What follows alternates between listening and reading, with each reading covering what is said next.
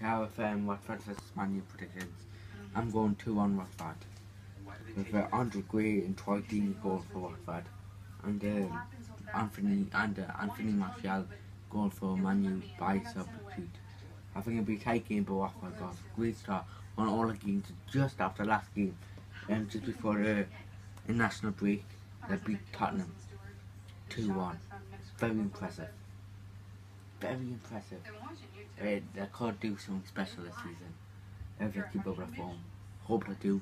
I want to see another Leicester story. Peace.